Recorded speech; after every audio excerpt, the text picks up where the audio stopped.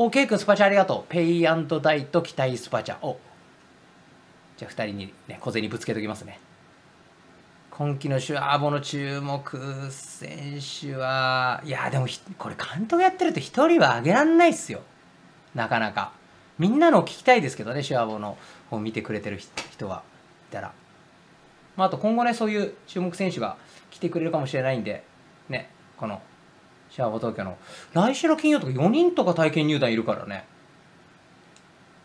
なんでそこからねもうそろそろだからな。開幕1か月前には入ってもらわないと。それで4回もう戦術的なところでね23か月かかるからねチームで目線を合わせるためには。レオズさんの求める右ウィングってどんな選手ですか？あああの頑張ってる時のオーバーですね。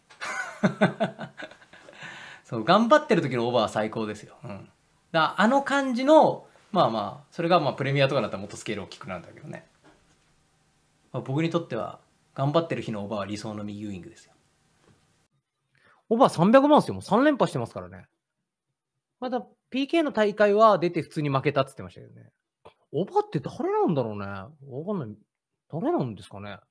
なんかいない感じがするんだよな。なんかふわふわしたなんか中学生の頃の友達みたいな感じなんだけど、普段は。でもなんか、俺に言われたことはちゃんとやってくれるじゃん。あと結構人と分け隔てなく接するところもいいしな。でも時々こういうふうに褒めすぎると気抜いて守備しないとか。お前前半あれきつかったつって。守備っすかつって。もうちょっといけるとき見てるよつって。頑張ります。すいません。頑張ります。って言って。で、後半すげえ走るみたいな。で、大体、まあ前のワンオンワンの時もそうだけど、これきつかったのって聞いたら、いや、違いますって言うから、あいつ多分きつくないんだよね。だから、あとはまあ、おばが気抜かないように、こう目を光らすってことが大事ですね。いや、ほんと助かってますよ。よくうちにいてくれて。おばいなかったら戦術変わりますからね、シュワボン。トリーグでオバが TJ も当たらなくて失点したのも今年だ。まあトリーグ入っね、オバ来たの今年だ。でもそれをね、バレるのうちぐらいですからね。普通 TJ をウィングが戻ってないとか言われないですから。僕だってあるチームの分析したときに、ああ、このチームのこの問題点、ウィングが T 字戻んないってこだなと思って、なんかそのチームの名前で守備とか入れると、そのチームのサポーターの人がどういうところを見てるかとか、いろいろ、いろんなワードで検索したけど、誰もいなかったもんね。あと、おばが1個だけ弱点あるんですけど、多分ね、1月1日のドキュメントでは多分そのこと言及してるシーン出てくるんだけど、なんでっていう、その弱点何っていうのがあるんだけど、レオザ学園の人はわかるのかな。あ、おばったらシュワボ加入話って生配信でも言うぐらい。あれですからね、僕、だから、今年お酒2回かな ?2 回か3回ぐらいしか飲んでないですけど、そのうちの1回が、あ、いや3回だな、多分。うん。おばの、いや、4回。でも、でも片手で数えるぐらいしか飲んでないですけど、そのうちの1回が、おば太郎の加入の時ですね。おば太郎加入決まって、嬉しくて、その時にゾメは来れなかったけど、時々遊ぶ後輩とかに連絡して、あの、近くのスナック行って、そこでお酒飲んだんですよね。うん。おば来てくれたのが嬉しくて。で、確かそのスナックで、なんか、サッカーが好きな子がいて、その子がワールドカップの話とかをしてきたんだよ。で、前話したけど、ワールドカップの話してきて、なんかワールドカップを YouTube とかの解説で見てたみたいな話してて、でも、俺に気づいてなさそうだから、気づかれない方がいいし、ああ、そんなのあるんだ、みたいな。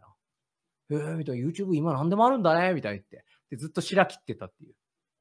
で、なんかその解説の人面白くて、みたいな。三笘をスタメンから日本が使わないのは、エンバペをフランス代表でスタメンから使わないのと一緒だって言ってたんだよね、つって。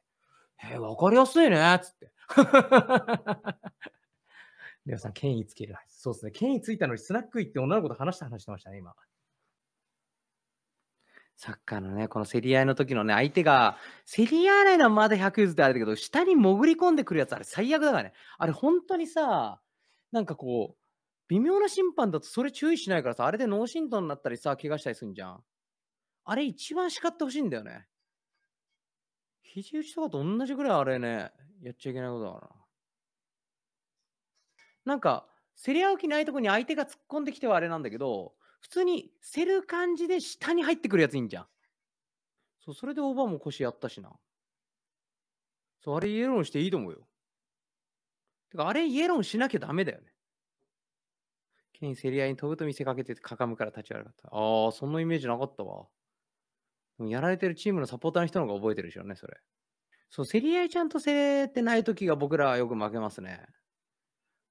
でも、競れない状況なのかね、変なこと言って選手のモチベも落としたくないから、でも後で見てやっぱり競れるとこ競ってないなみたいなのが負け試合のパターン多いですね。競り方とか、そこまで教えてんだけど、やっぱり練習時間が週に2しかないから、結局選手がそれぞれ向き合うかとか元の質が大事になってくるからね。競り方、競れない時に取るべき立ち位置まで教えてんだけど。いや、ありがたいことに今日もね、スポンサーの申し込みあってね、スポンサーさんと話して、まあ、ね、予定通りその契約締結に行けばいいんですけど、そうするとね、もう目標額にも行くかもみたいな感じになっててね。で僕もあの自分で去年ね、シュアボに投資したという、投資というか、まあ、みんながいいサッカー見せてくれるっていうので言うと、選手たちがいいサッカー見せてくれてるのが、ね、配当だとしたら投資って言葉だったんですけど、まあ、支援的な。まあ、僕とシュアボの関係で、ね、オーナーですけど、具体的には業務委託契約のタレントであり、株主みたいなことですからね。で、僕がね、週休額の印税以上寄付してたんで、ってなるとなんか、スポンサーお願いしますも間違ってないんだけど、一緒にスポンサーやりませんかに近いですね、シュアボ東京に関しては。なんで、僕と一緒に シュアボにお金出しましょう。お金ください。強いチームするんで、よろしくお願いします。現状僕がね、あの、シュアボのメインスポンサーになりますんで、ぜひともよろしくお願いします。メインスポンサーから引き継いで下ろしてください。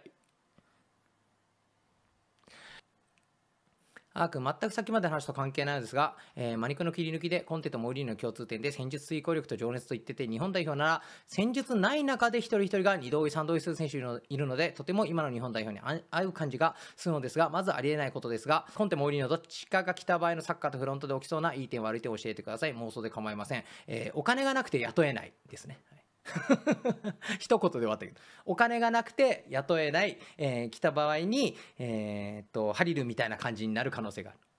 上と揉める下と揉めるってそうお金次第ですよ。それはそうですよ。あのスポーツビジネスというかそういうね競技系のサッカーでちゃんとお金絡んでくるってなるといつも言うけどね。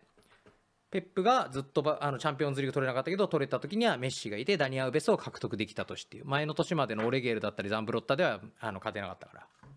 だし、そういう選手がお金なかったら放出されちゃうじゃん。雇いきれないから。から僕らもね、ずっとそのカテゴリーで楽しくやるだけだったらお金集めないんですけど、J リーグ行くからお金集めるっていう。皆さんにお願いしますっていう。まあ、どのクラブもやってるけど、結構そこってね、お金お金言うと、なんか、なえる人とか、そこのね、真実から目を背けたい人もいるから、できるだけね、そういうところは隠しながらやってるみたいな感じですよね。私、レオザフットボールが監督を務めるシュアーボ東京では、毎週水曜、金曜、19時間の練習でセレクションを開催しております。場所は都内近郊、シュアボ東京で25万人以上に見られながら、報酬をもらって本気でサッカーしませんか？多くの関係者が見るチャンネルですし、シュアボから J リーガー輩出を目指す僕らとしては、ステップアップも大歓迎です。概要欄の URL からのご応募、お待ちしております。